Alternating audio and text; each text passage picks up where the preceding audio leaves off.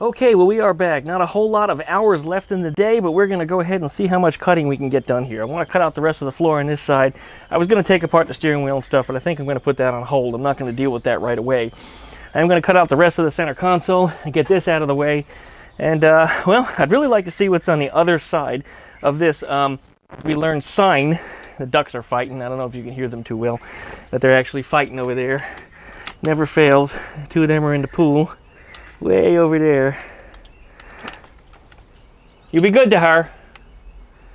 Always Boomer picking the fight. I saw him do it too. Anyways, back on subject. As we learn, the uh, these are actually signs face down. So what I'm going to do is pull up the other side of this, lay the two of them together, and see if we can figure out exactly what it might say. I don't know if it's anything historical, but yeah, I'm gonna cut it up, same method as before, try to grind off as many of the screw heads as possible, and then Sawzall the bitch right on out. So let's go for it.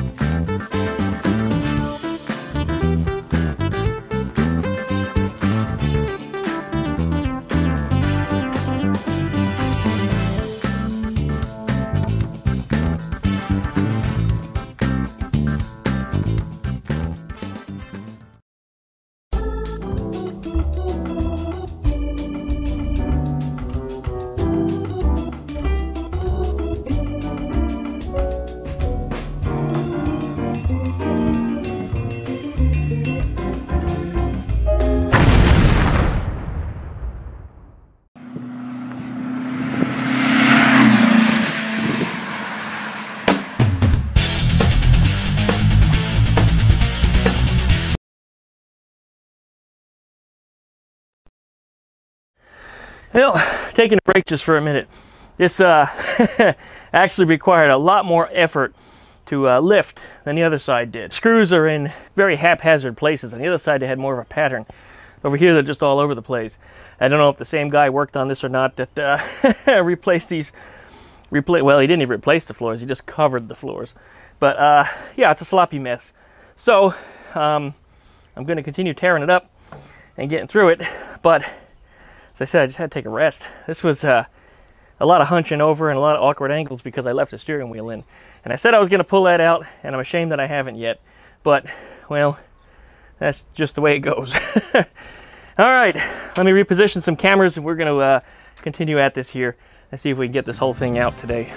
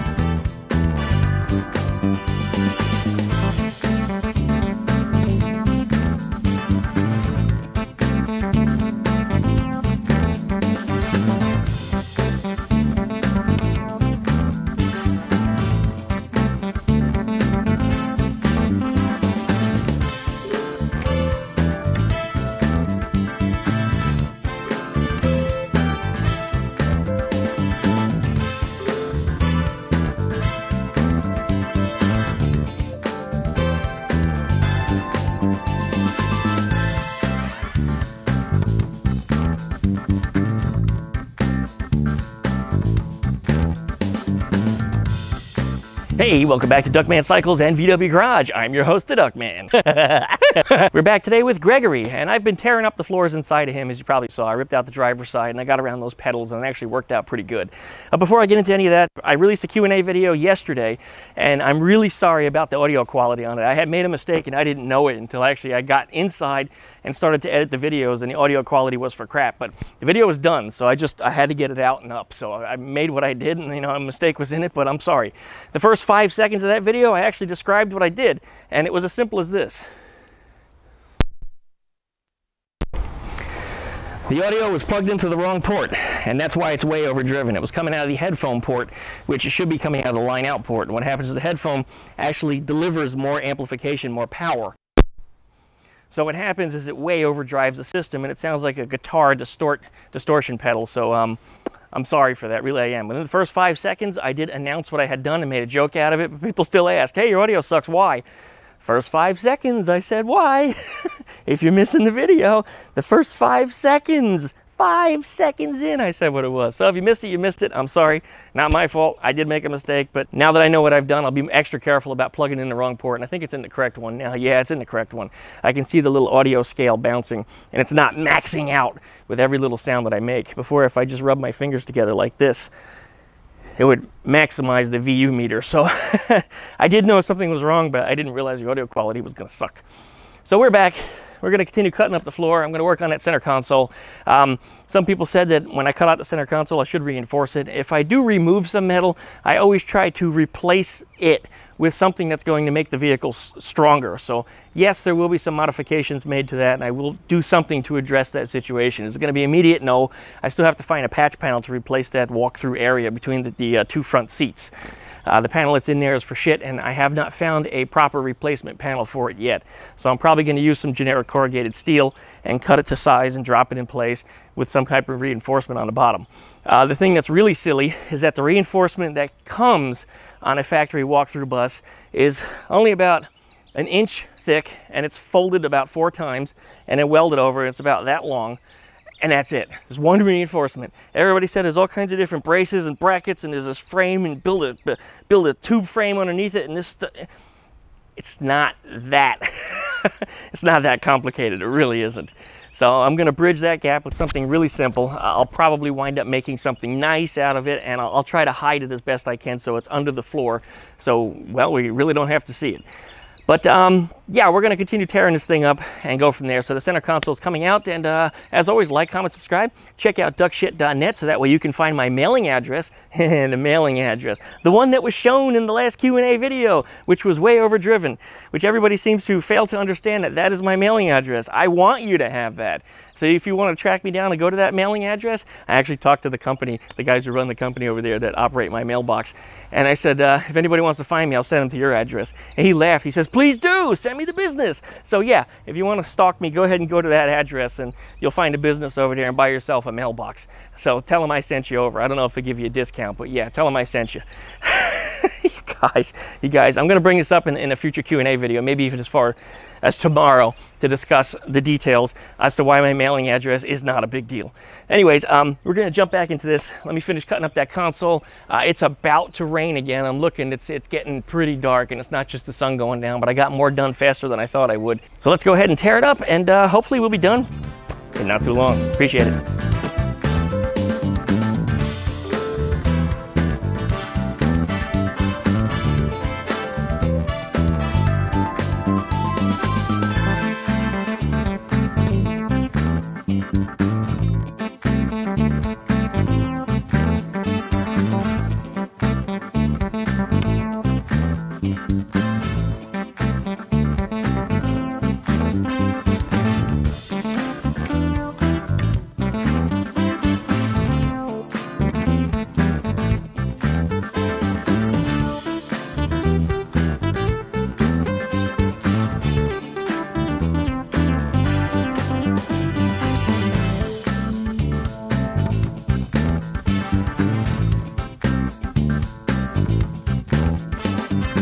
Okay, wrapping it up for the day. Looking inside of here, we can see that the uh, frame here in the center where the shifter is is completely rotted. The whole top of it is just rotted to hell.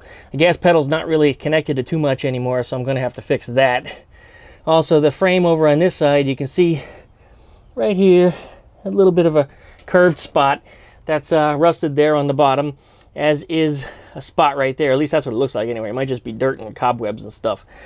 There's also a little bit of a rust spot on the frame on this side. Actually, looking on the outside of it, you don't see the problem too much, but it's there. But the rust isn't too obvious on the outside, so that needs to be fixed too. All in all, uh, it's really not too bad. It, it's not structurally unsound or, or, or uh, um, dangerous. But a little bit of cutting, a little bit of patching should fix it. I should not have to cut the frame or split the frame in any way. And I really don't want to split it because if I split the frame on the front here, these doors are probably not going to close right afterwards.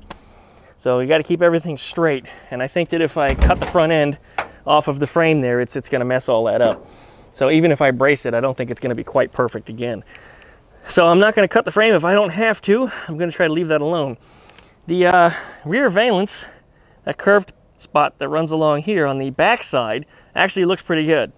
The one on the front side, however, that was that piece that fell off onto my uh, tow bar that I showed when I was cleaning Gregory out, tearing everything up in here. Well, I, I don't think it's um it's going to be too hard to fix here. I'll get in here and do some small patching. It's going to need a lot of cleaning. There's going to be a lot of uh, phosphoric acid that goes on this stuff, a lot of wire brushing. I'm going to take apart all the uh, the control mechanisms over there and clean them all up individually, sandblast them probably, paint them up individually once again, and bolt them all in, in there with either new hardware or I'll sandblast all the art, all hardware and paint it all up and get that resituated. I think it looks pretty good though. I mean, the good thing is, is all the metal that the new floor has to attach to is in pretty good shape except for the bottoms of the dog legs right here. Those are the only parts of the floor that look like they, they need any actual replacement other than the floor itself everything that goes around it looks pretty good so I should be able to attach the new floor to all this other stuff. Well yeah I certainly got my work cut out for me but uh, you know piecemeal one step at a time. But this was all about getting caught up with CT Moog. I believe he's at a, a similar point right now where he's got his floor torn up but he also has his seat pedestals out. Those should go back in pretty easy though. He has the box all around it. So you just kind of lay it over and weld it around. So I think that uh, what we're looking at here is um, very doable, very doable. The uh, center walkthrough section, now that I've seen it without everything on it, it looks like it's only rusted with a strip right through here. I, I actually might be able to just take a piece of steel and fold my own corrugation into it and um, just lay it over that weld it all back in. While I have a strip removed from it though, I can work on some type of uh, structural frame to build under there and make it a little bit stronger than it is otherwise. And I kind of have an idea in mind that I think is going to work out pretty well without getting too overly sophisticated in here, without making it too ugly or just overdoing it. I want to maximize the amount of space in here too. And that was the other problem with that center console. It's just it it removed a lot of usable and kind of livable space. I mean, I do plan to camp in this thing, and I'm not a small person.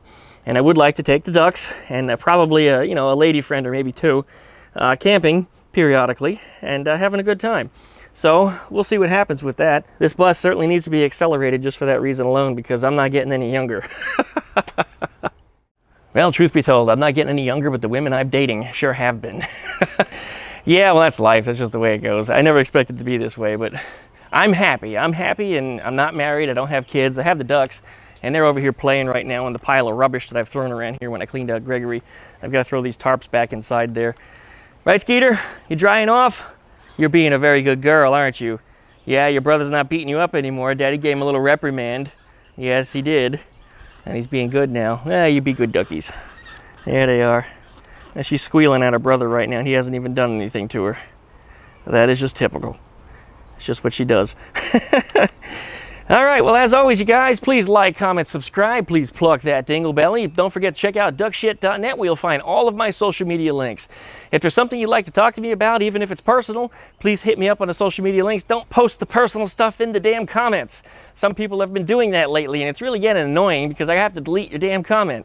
Sometimes it's not even personal about me, it's personal about a third party. And if you want to know something about somebody else, don't put that shit in public. Come on, guys, really. Anyways, uh, thanks for watching. As always, really do appreciate you. I do appreciate your good comments, and there's a lot of them. I mean, 99.9999999% of them have been really good comments lately. I've gotten very, very little hate, and the only ones that I've gotten are people saying that, hey, Duckman, you can't do that. Those parts aren't going to work. Well, we're going to prove you wrong once again. And that's the kind of crap that I heard when I started billing Eleanore, and you see what she looks like now. By the way, I was told those hinges that I got for Eleanore aren't going to work either. But uh, we're going to try to demonstrate that in a video coming up this week maybe as soon as tomorrow I'll get started. recorded, maybe, uh, maybe Monday. I don't know. We'll see what happens. Thanks.